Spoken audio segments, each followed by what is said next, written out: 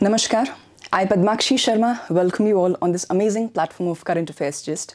आज का हमारा डिस्कशन का टॉपिक रहेगा India's biggest trade deal with European free trade association आइए जानते हैं मुद्दा क्या है इंडिया ने 10th ऑफ़ मार्च 2024 को एक बहुत बड़ी ट्रेड डील साइन की है with four European countries that is Iceland Liechtenstein Norway and Switzerland इस ट्रेड डील में है क्या कि ये चारों कंट्रीज़ इंडिया में for the coming 15 years 100 billion dollars का इन्वेस्टमेंट करेंगी for the sake of free trade तो अब ये फ्री ट्रेड क्या होता है? पहले ये समझने की कोशिश करते हैं। फ्री ट्रेड मीन्स जब कंट्रीज़ के बीच में ट्रेड एग्जीक्यूट होता है तो हम उसमें कोई भी कस्टम ड्यूटीज़ टैरिफ्स और कोई भी लीगल फॉर्मेलिटीज़ और कॉम्प्लेक्सिटीज़ होती हैं, उसको एकदम नेग्लिजिबल रखते हैं, ना के समान रखते हैं, ताकि जो ट्रेड है वो फ्रीली एग्जीक्यूट हो सके कंट्रीज़ के बीच में। So this is the meaning of free trade right तो जो हमने ये डील साइन करी है, इसके नेगोशिएशन की बात करें हम तो ये नेगोशिएशन हम देखते हैं 2008 से चलते हुए आ रहे हैं। 2013 तक आते आते इन नेगोशिएशंस में कोई बहुत फ्रूटफुल डेवलपमेंट हमको देखने को नहीं मिला और 2013 में आते आते इसको एक हॉल्ट मिला। देन अगेन हमने ये नेगोशिएशन 16 2016 से रिज्यूम करे। और राइट और फिर इवेंचुअली 21 राउंड्स ऑफ़ नेगोशिएशन के बाद हमने फाइनली ये 100 बिलियन की ट्रेड डील 2024 को इन कंट्रीज़ के साथ फाइनली साइन कर दी। अब गौरतलब बात ये है कि इंडिया में जो ये ट्रेड डील अब एग्जीक्यूट हो रही है, इससे फ़ायदे क्या मिलेंगे? जितने भी मैन्युफैक्चरिंग प्रोजेक्ट्स हैं, वो इनिशिएट होंगे। जो ऑलरेडी एग्जिस्टिंग मैन्युफैक्चरिंग यूनिट्स हैं, उनको फंडिंग मिलेगा, नया सेटअप क्रिएट होगा। इसके अलावा it will cater India with almost one million job ये एक प्रेडिक्ट किया गया है कि जब ये प्रॉपरली फ़ंक्शन में आएगा तो around one million jobs create होंगी इंडिया में which is a very good number apart from that बहुत सी ऐसी चीज़ें हैं जो हम बाहर से इम्पोर्ट करवाते हैं like chocolates walnuts smartphone Swiss watches Swiss cheese etcetera तो ये सारे प्रोडक्ट्स जो हम बाहर से इंपोर्ट करवाते हैं, इस पर बहुत ज़्यादा ड्यूटी टैरिफ होने की वजह से हमको बहुत महँगा पड़ता था और इस ट्रेड डील के बाद अब ये सब चीज़ें हमें बहुत ही रीजनेबल प्राइस में अवेलेबल हो जाएँगी।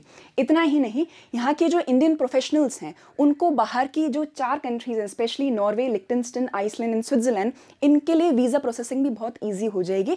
इसमें जो कॉम्प्लेक्स वीज़ा फॉर्मेलिटीज़ होती थी, अब वो नहीं रहेंगी, काफ़ी ईज हो जाएगा वीज़ा मिलने पर भी और इंडियन प्रोफेशनल्स बहुत ईजिली इन कंट्रीज़ में मूव कर सकते हैं। अपार्ट फ्रॉम दिस हम जो वाइन्स इंपोर्ट करवाते थे, उसमें ऑलमोस्ट 150 परसेंट का हम लोग टैरिफ लगाते थे। वो अब इस डील के बाद घट के हो जाएगा 100 परसेंट तक और इवेंचुअली वो 50 परसेंट तक भी उसका रिडक्शन हमको देखने को मिलेगा।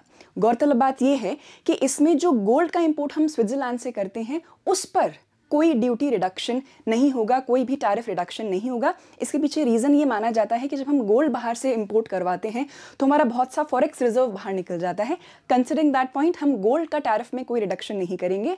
अपार्ट फ्रॉम दिस और जो चीज़ें हैं, जैसे हम Swiss cheese Swiss chocolate cheese बहुत मंगवाते हैं स्विट्ज़रलैंड से, और ये बहुत महँगी आती हैं, और इन सब प्रोडक्ट्स पे बहुत अच्छा हमको प्राइस कट देखने को मिलेगा। बहुत रीजनेबली ये कस्टमर्स को अवेलेबल हो जाएगा।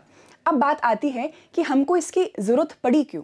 अगर हम पहले पिछले साल के आंकड़े देखें 2022 और 2023 के अगर हम आंकड़े देखें तो हम उसमें देखते हैं, हमारा जो एक्सपोर्ट हुआ था, वो टू बिलियन डॉलर्स के अराउंड हुआ था और जो इम्पोर्ट था हमारा, वो 16 बिलियन डॉलर्स के अराउंड हुआ था। तो अगर देखा जाए तो इम्पोर्ट और एक्सपोर्ट के डिफरेंस में अराउंड 14 मिलियन डॉलर्स का अंतर है और ये ही ट्रेड डेफिसिट क्रिएट करता है। ट्रेड डेफिसिट क्या होता है? जब हमारा इम्पोर्ट एक्सपोर्ट से ज़्यादा हो जाए, जब हमारा पेमेंट हमारी रिसीट से ज़्यादा हो जाए तो एक negative balance of payment create करता है which is not good for the health of the economy तो India took a very good decision for you know boosting the economy and regarding that अब ये जो ट्रेड डील हमको मिली है, इससे हमको डेफिनेटली बहुत फ्रूटफुल गेंस होंगे। तो क्योंकि ट्रेड डेफिसिट क्रिएट हुआ था तो इस वजह से भी ये डील एक बहुत हमारे लिए फ़ायदेमंद साबित होगी। So this was all about the gist of the topic इस परिपेक्ष में जो भी आगे की प्रक्रियाएँ रहेंगी, उससे आप सभी को सुचारू रूप से अवगत किया जाएगा। So stay tuned for all the future updates till then नमस्कार। जय श्री राम।